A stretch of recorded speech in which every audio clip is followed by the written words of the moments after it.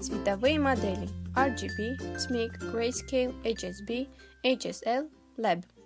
Некоторые из вас, наверное, уже слышали эти названия, но не понимают их значение. Это цветовые модели, используемые в компьютерной графике. Они служат для описания цветов в определенном диапазоне. Были приняты цветовые модели, которые используют три первичных составляющих цвета. Таким образом, любой цвет рассматривается как смесь из трех основных цветов. Например, освещение сцены при помощи трех прожекторов. Каждый из них излучает один цвет, и контролируя их передвижение и мощность, на сцене можно воспроизвести практически все цвета. Давайте рассмотрим каждую цветовую модель. RGB или так называемая аддитивная цветовая модель, состоит из трех первичных цветов – красный – red, зеленый – green и синий – blue. Как видно на картинке, если смешать все три цвета, то получится белый, а отсутствие цветов – черный. Другая цветовая модель – ЦМИ или субтрактивная цветовая модель, которая состоит из циан, маджента и желтого yellow цветов. Если вы были внимательны, то уже догадались, что они являются смесью пар из RGB. То есть, если в RGB смешать красный и зеленый, то получится желтый. Если зеленый и синий, то циан. А синий и красный – маджента. И наоборот, цвета из RGB являются смесью пар из ЦМИ. По сравнению с RGB здесь все наоборот. Если смешать все цвета ЦМИ, получим черный, а отсутствие цветов – это белый. Итак, если в цветовой модели RGB в редакторе нам надо получить красный цвет, мы зададим следующие параметры. Зеленому и синему значение 0, а красному 255, так как яркость каждого цвета в RGB определяется интенсивностью от 0 до 255. Для того, чтобы получить желтый цвет, надо синему задать значение 0, а остальным 255 и так далее. Также для записи цвета в RGB используют 16-ричную систему.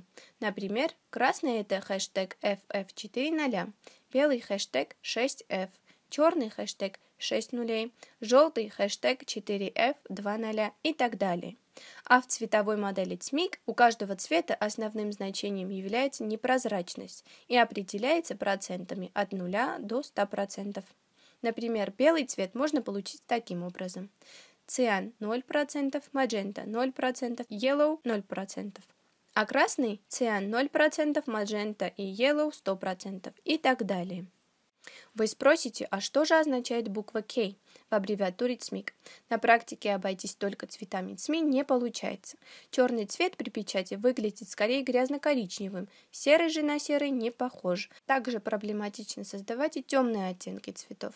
По этой причине добавлена еще одна составляющая – черный цвет K. Расшифровка этой буквы может быть разной. Бытует мнение, что буква K – это последняя буква из слова black – так как первая буква B используется в значении RGB. Есть и другое мнение, что K произошло от слова кобальт, что по-немецки значит темно-серый, но это тоже неоднозначно. Следующая цветовая модель – это Grayscale. Изображение в цветовой модели Grayscale многие ошибочно называют черно-белым, но это не так.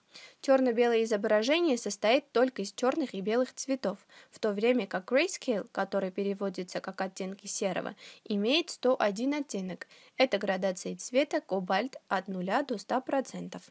Следующая цветовая модель, которую мы рассмотрим, это HSB и HLS.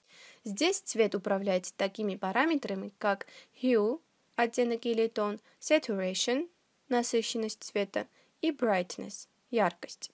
Параметр hue – это цвет, определяется градусами от 0 до 360, исходя из цветов радужного кольца. Параметр saturation – процент добавления к этому цвету белой краски, имеет значение от 0 до 100%. Параметр brightness – процент добавления черной краски и также измеряется от 0 до 100%. Аналогично этой модели цветовая модель HLS, которая расшифровывается как Hue, Lightness, Saturation. Иногда используется для коррекции света и цвета в изображении. И последняя цветовая модель, которую мы рассмотрим, это Lab. В этой цветовой модели цвет состоит из luminance, это так называемая светлота, и A и B – это цветовые гаммы, соответственно от зеленого до пурпурного и от голубого до желтого. То есть двумя показателями определяется цвет и одним показателем определяется его светлота или освещенность. Для веб-дизайна мы с вами преимущественно будем использовать цветовую модель RGB, а для печати CMYK. И несмотря на то, что RGB является стандартной цветовой моделью, точный диапазон отображаемых цветов может быть разным в зависимости от приложения и устройства вывода.